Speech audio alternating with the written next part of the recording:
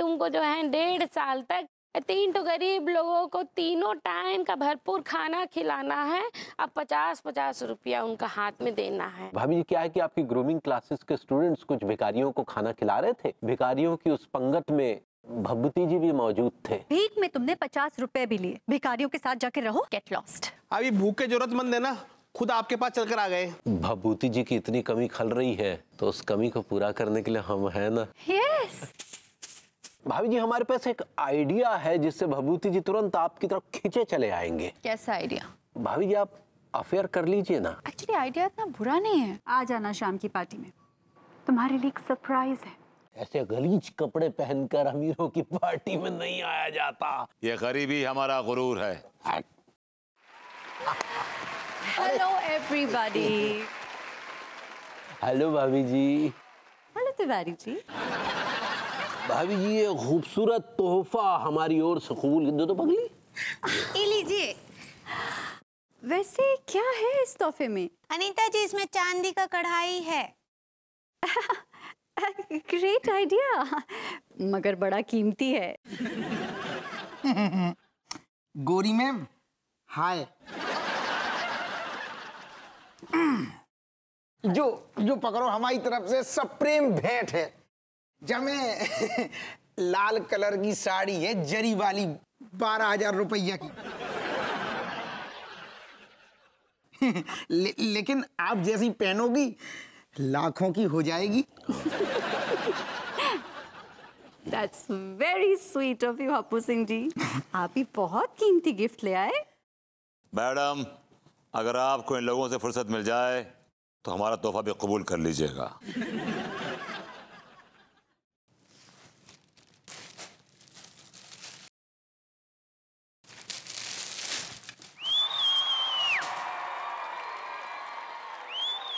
हमारी जो हैसियत थी, हम अपनी हैसियत के हिसाब से तोहफा ले आए हैं। कबूल कीजिए।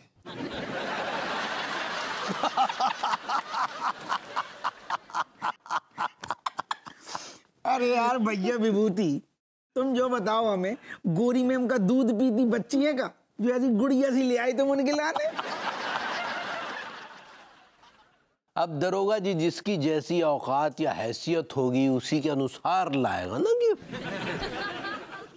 का करे लिटू की भैया? काहे बेचारे भरभूति जी की गरीबी का मज़ाक बना रहे हैं? अरे चुप रहो ये है ही इस लायक। और तुम भी तो बहुत खाने वाने लंगर बंगर खिला रही थी हम्म?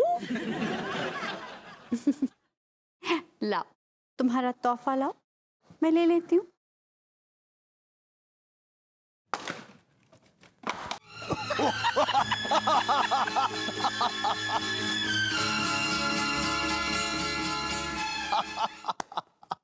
तोहफा कबूल है। Well, तोहफा कबूल करने का आपका बहुत बहुत शुक्रिया। भैया जहाँ पर हमारी गरीबी को मज़ाक उड़ रहा है और आप फिर भी यहाँ पर टिके हुए हो। यार थोड़ी सी बेइज्जती और सह लेते हैं फिर खाना खा के चलेंगे। लेडीज़ एंड जेंटलमैन मैं आज आपको ऐसे शख्स से मिलाना चाहती हूँ, जो इस महफिल की आन पान और शान है।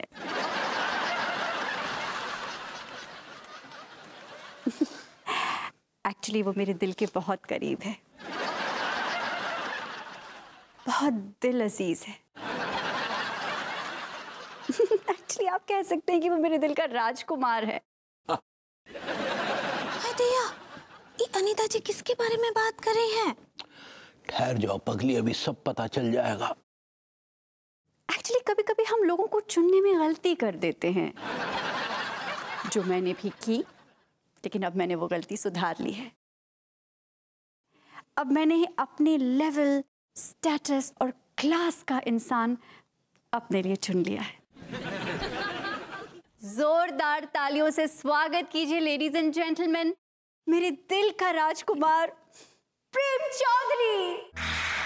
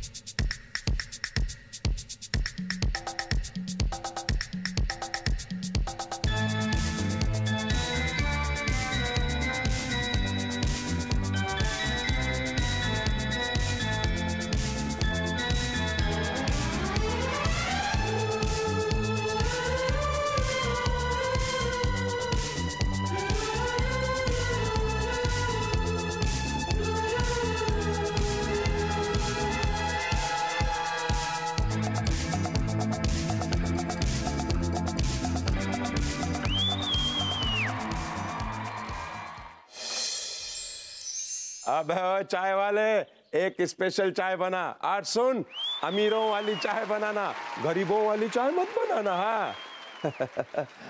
आजा आजा, गरीब आदमी, मेरा मतलब है विभूति क्या हाल है तेरे? धोखेबाज, घटिया इंसान, चोर भी अपने घर से दो घर, ढाई घर छोड़ के चोरी करता है। तूने अपने घर में डाका डाला, अपने बेस्ट फ्रेंड के डाका डाला, तुझे शर्म नहीं आई? अबे विभूति तेरे घर में है ही क्या? जो मैं तेरे घर में डाका डालूँगा। मैं अपनी बीवी की बात कर रहा हूँ अन्नू की बात कर रहा हूँ समझा क्या? अबे क्या बकवास कर रहा है बे एक बीवी तो मेरे ऊपर इतनी भारी पड़ रही है। दूसरी बीवी लेके क्या मरना है क्या मुझे? कल रात तेरे अन्नू के बीच में जो नाटक देखा था मैंने वो क्या था? हाँ विभूति है तू ठीक कह रहा है। ये नाटक करने के लिए मुझे भाभी जी नहीं कहा था ताकि तेरे गुर्दे छिले और तू घर भाभी जी के पास वापस आ जाए। ओह तो ये सारा खेल अनु ने खेला है? हाँ ये खेल भाभी जी नहीं खेला था। वरना प्रेम चौधरी तो मशहूर है कि वो घर छोड़कर ही डाका डालता है। आई एम सॉरी यार आई एम रियली सॉरी तेरे को मैंने चिपका दिया यार। इसमें तेरी गलती नहीं है यार। तेरी जगह मैं भी होता ना तो सामने वाले के गुर्दे फोड़ देता। हाँ।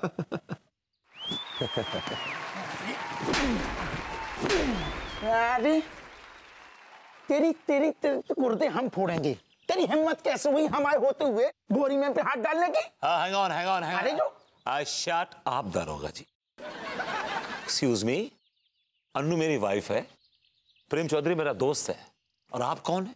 क्या तकलीफ़ हो रही है आपको? वाई अरे ठीक है यार तुम्हारी वाइफ है। हमने कभी कहीं दूसरे की है।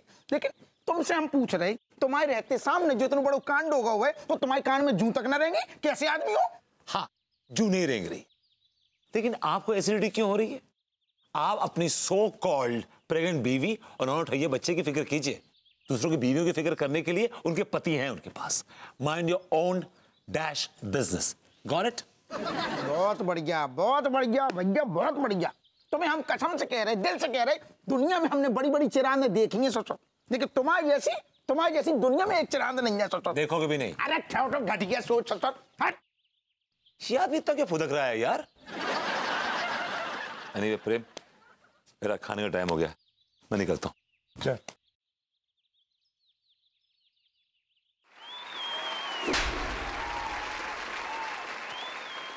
अबे कच्चे बनियान तू तो सब जानता था। फिर तू क्यों मुझे थप्पड़ मार रहा हाँ? वो इसलिए क्योंकि कल रात आप भाभी जी के साथ कुछ ज़्यादा ही चिपक रहे थे। याद रखिएगा भाभी जी हमारी किसी और की अमानत है। दूर रहिएगा उनसे। चल यार तू एक कड़क चाय पिला दे अब।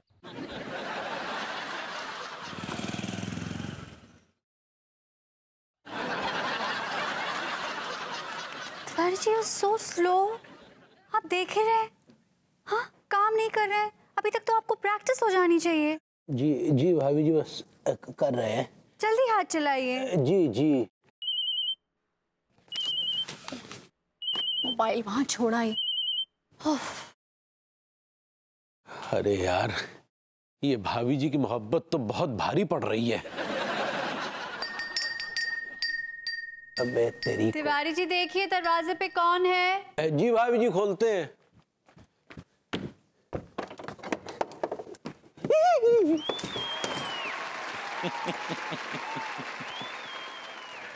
वेल बड़े बेआबरू होके तेरे कूचे से हम निकले। बड़े निकले मेरे अरमान फिर भी कम निकले। मुंडू जाके अपनी मेम साहब से कहो कि गरीब आदमी उनसे मिलने आया है। तिवारी जी कौन आया है? भाभी जी गरीब नल्ला लीचड़ लाचार आया है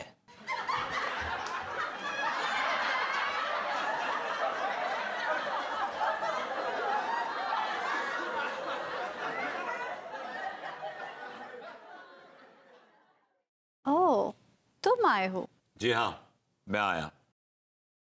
कल रात को मुझे इस बात का एहसास हो गया कि मेरी गरीब मोहब्बत आप जैसी अमीरजादी के काबिल नहीं। इसलिए वेल मैंने फैसला कर लिया है कि मैं इस अमीर आदमी की शादी खुद अपने हाथों से करवाऊँगा आपके साथ। व्हाट ये ये ये, ये, ये, बकवास कर रहे हो तुम? ये बकवास नहीं है मैडम ये हकीकत है।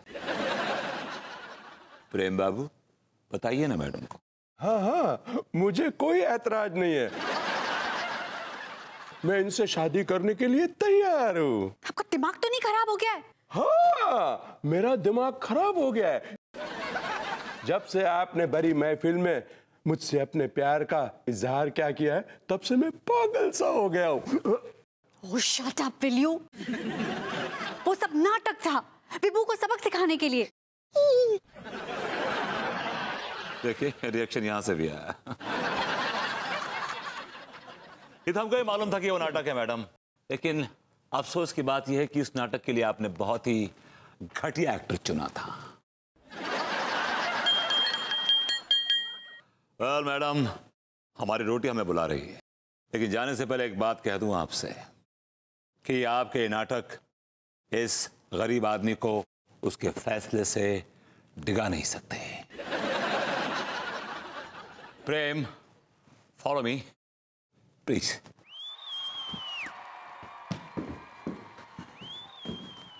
भाभी जी। हाँ, भाभी जी। ये आइडिया भी आपका फ्लॉप हो गया। कोई बात नहीं भाभी जी आप चिंता ना करें। अब घी जो है टेढ़ी उंगली से निकालना पड़ेगा। आप बस रात का इंतज़ार कीजिए। सब चलिए झाड़ू लगाइए। पूरा हॉल बचाए यही सोफे के आसपास घूम रहे हैं घंटे भर से। अबे जल्दी जल्दी हाथ चला बे। अबे ऐश हो रही है ऐश। अबे तू भी अपनी बीवी के पल्लू से बाहर निकल के देख। देख दुनिया कितनी हसीन है कितनी हसीन है। इस बात का एहसास मुझे तब हुआ जब अनु ने मुझे घर से बाहर निकाला। मेरी तो लाइफ सेट हो गई यार। रोज से खिचखिच खत्म हो गई। सुबह उठते बीबू काफ़ी बीबू ये बीबू वो। और सारे कमर तोड़ काम जो थे ना घर की साफ़ सफ़ाई खाना बनाना ये वो सब खत्म हो गया अब तो बस तीन काम है बेटा। ऐश करना खाना और सो जाना। तू भी कोशिश कर बेटा शायद तेरी ज़िंदगी में बाहर आ जाए। बीवी से पंगा लेके देख घर छोड़ दे। अच्छा सुन मैं रखता हूँ। मोहल्ले की बहुत बड़ी चिरांद आ गई है। आ, बड़ा चाय दे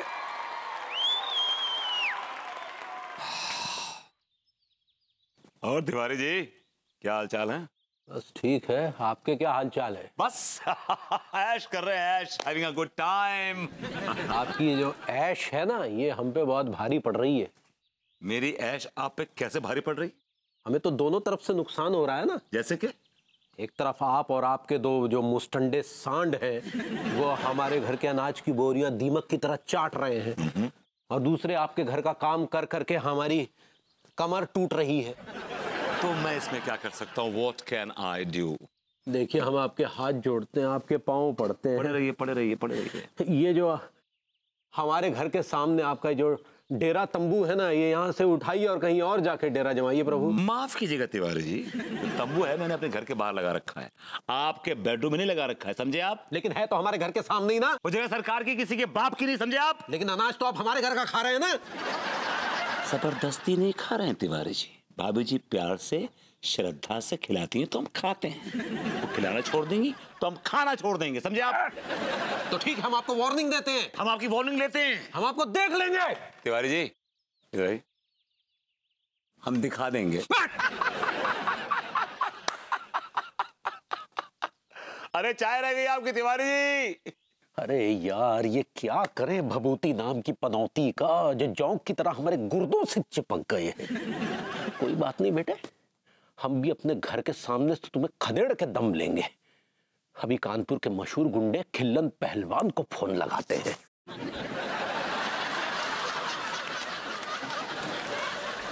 जी, आप खिल्लन पहलवान साहब बोल रहे हैं?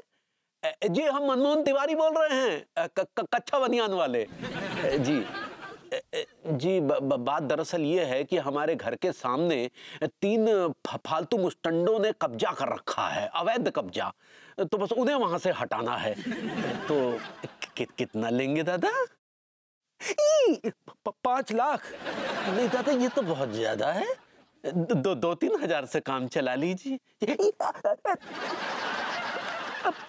अबे यार ठीक ये ये गुंडे लोग तो यार बहुत ही बदतमीज होते हैं।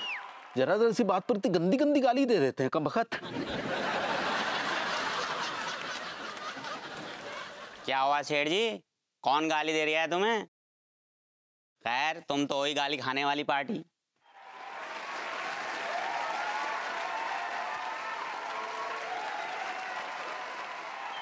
अबे यार ये सबसे बड़ा गुंडा तो हमारे ही घर में मौजूद है और हम बाहर भटक रहे हैं। क्या हुआ सेठ जी घोर घोर के क्यों देख रहा हूँ मुझे?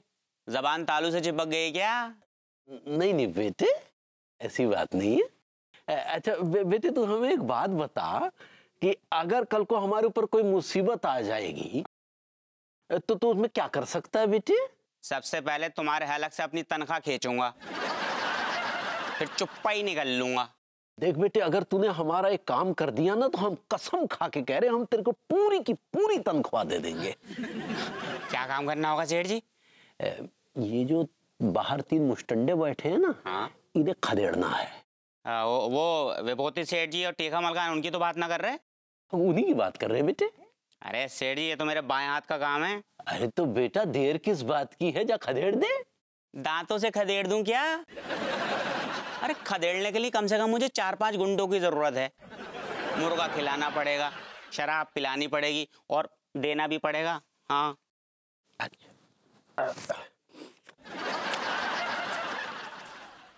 तो ले बेटे ये ले खिला मुर्गे। सेठ जी तुम हमेशा चिंदी चोरी वाली बात क्यों करो? अरे पाँच सौ रुपये में तो घुइयाँ ना आने की। कम से कम इस काम में दस हज़ार रुपये लगेंगे। ना बेटे दस हज़ार तो बहुत ज़्यादा है। अरे सेठ जी मेरी तनख्वाह में से एडजस्ट कर लियो। चल ठीक है बेटा तेरी तनख्वाह में से एडजस्ट कर लेंगे ठीक है? अरे दो ले बेटे पूरे दस हज़ार रुपए है। चल जा बेटा खदेड़ दे तीनों मुस्टंडों को जा। तीनों को आ, किसको खदेड़ दूँ? अरे बेटा मुझे तीन फालतू बैठे हैं। राम राम सेठ जी राम राम। उन तीनों बेचारों ने मेरा क्या बिगाड़ा है जो उन्हें खदेड़ दूँ? एक काम करो सेठ जी तुम ना खदेड़ने के लिए कोई और पार्टी देख लो। अब अब कुत्ते कमीने अरे धोखा कर गया हमारे साथ टिल्लू का बच्चा है। धोखे बॉस हदिया अब का हुआ लट्टू भैया किससे झगड़ा कर रहे हैं सुबह सुबह अरे वो टिल्लू का बच्चा धोखे से पैसे ले गया ससुर। हदिया दिया छोड़िए वो सब। ये लिस्ट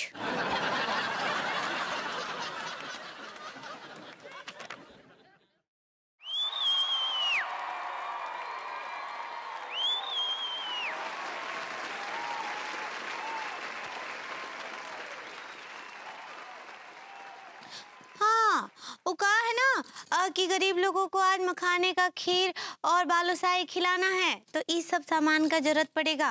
बाज़ार जाकर ले आइए।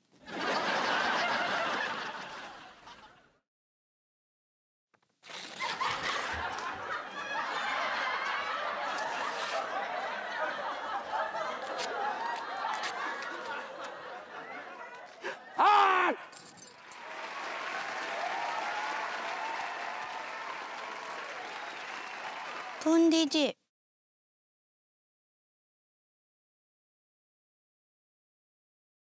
अम्मा जी को कॉल कर रहे हैं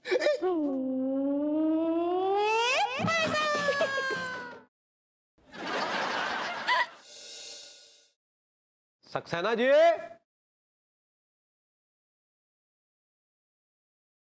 सक्सेना जी दुम कटी छिपकली है भैया वो। पकड़ में नहीं आ रही है। पकड़ में नहीं आ रही। बहुत दिन से ट्राई कर रहा हूँ। कम बिल्कुल पकड़ में नहीं आ रही है। तो मेरे घर में क्यों रहे हैं भैया? मैं क्या कर रहे हैं मेरे घर में? वो क्या है सक्सेना जी? हमें आपसे छोटा सा काम है। क्या काम है भैया?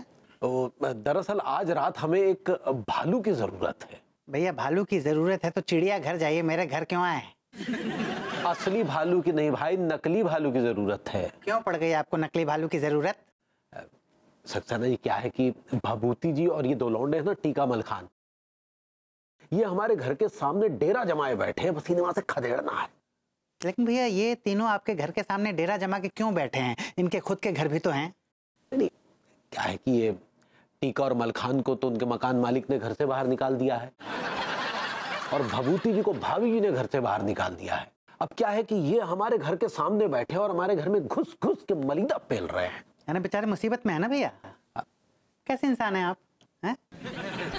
अगर कोई इंसान मुसीबत में है तो उसके काम आना चाहिए उसकी मदद करनी चाहिए। आप कैसा व्यवहार कर रहे हैं उनके साथ? यानी मुसीबत के वक्त तो बेचारा एक जानवर भी दूसरे जानवर के काम आता है। और आप आप इंसान तो क्या जानवर तो क्या? जानवर से भी बदतर हैं। उनको खदेड़ना चाहते हैं। शर्म आनी चाहिए भैया आपको डूब मरना चाहिए आपको गंदे नाले में। आई लाइक इट ऐसा है कि अपना ज्ञान अपने पास रखिए। शौक लीजिए तार मत गिनिए। किधर है शौक? किधर है शौक? देंगे ना पहले आप हमारा काम कर दीजिए उसके बाद ऐसा शौक देंगे फिर शौक लेने की ज़रूरत ना पड़ेगी। आई लाइक इट ठीक है भैया तो आज रात को आपके घर के सामने एक भालू आएगा। और उन तीनों गधों को खदेड़ देगा। वाह तो बस फिर आप शौक ले जाइएगा हम आपको शौक से नहला देंगे। भैया न, कुछ एडवांस मिलेगा? क्यों नहीं? I like it